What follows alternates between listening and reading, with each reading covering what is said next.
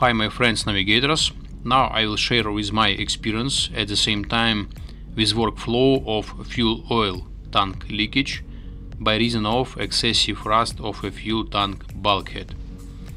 I would like to ask you to support my channel and watch this video until very end and thank you in advance. So let's go.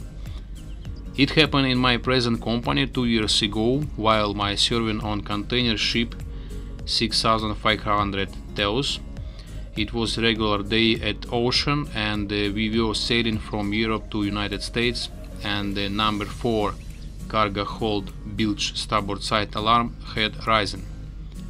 Aware that the prominent fuel oil tank concerns to cargo hold number 4, we checked visually bilge and it was discovered that the bilge is full with heavy fuel oil and its level quite swiftly rises up on the tank top of the cargo hold.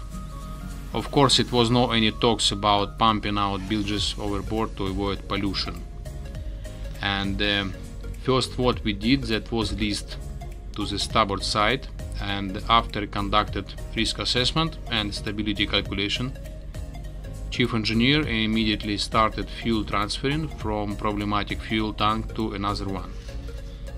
Later investigated that the fuel comes from bulkhead hole caused by heavy rust. Hole in diameter is about 5 millimeters, what you see now, and the general bay plan just for overview.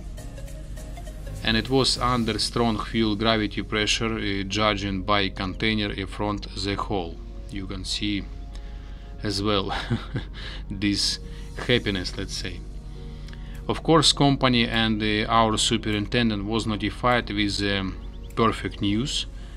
And the next port was Charleston and further rotation was expected Miami, Veracruz, uh, then Altamira, Mexico, then Houston, New Orleans and uh, had to go back to the Europe.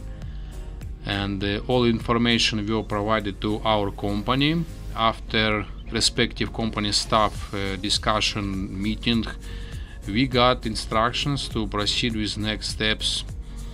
And um, as much possible clean up accessible spaces uh, called galleries as you see now. And uh, was not only lower part affected uh, because of ballast and fuel tanks configuration specified form also bulkhead between bays were isolated uh, to avoid uh, spreading of uh, fuel and the severe leakage will pump out with air pumps to drums on the main deck. our cargo hold had 9 decks as I remember, maybe plus minus 1. I don't remember exactly, 2 years passed as I mentioned. And uh, we transferred that pump out fuel to the sludge tank.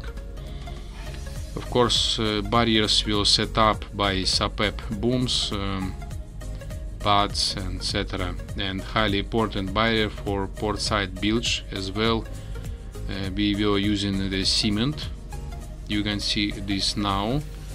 Yeah, um, fortunately nothing came in, so this was maybe one of the good news with that days and the proofs uh, were provided to United States authorities uh, that we nothing pump out and uh, our bilge system is not contaminated with this fuel. And upon arrival we drop anchor on Charleston roads where BV surveyor attended. First what authorities and class society were thinking that it was some structural damage uh, for unknown reason and uh, they came with inspection of course to make sure in opposite what we reported.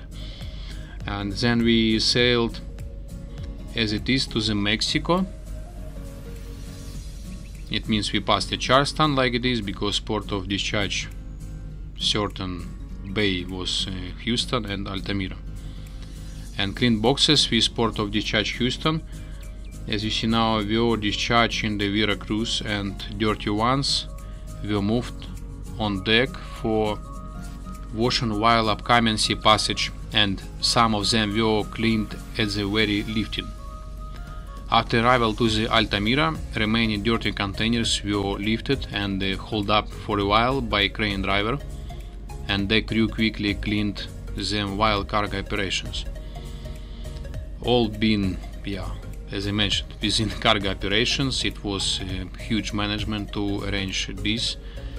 Maybe for guys who are not aware, uh, one move, extra move, caused by reason of ship side owner yeah it cost about 400 euro and then crew proceeded to clean up the cargo hold and after completion starboard side bilge was cleaned up rigorous with environment solution to later on pump out yeah to do not uh, damage let's say our environment sea and ocean. It's just this solution safe for environment and uh, kills let's say this residue of oil. And next stage was uh, UTM technicians uh, they came and they they perform measurement of steel thickness on affected and nearby areas and they issued report because we need some point of let's say support for further investigation and the proper planning of welding jobs to eliminate this bloody leakage. And when we arrived in Houston, this cargo hold was normally loaded. Uh, of course, uh, we kept away 30 minutes over, I mean around, yeah, no any DG from intended point of welding. Of course, rows 11 and 13 we kept as well free for plant welding jobs. And uh, what I can suggest to you to avoid similar situation uh, since it was for me quite uh, stressful. Now I talk about it you know like uh, chilled and relaxed. Yeah.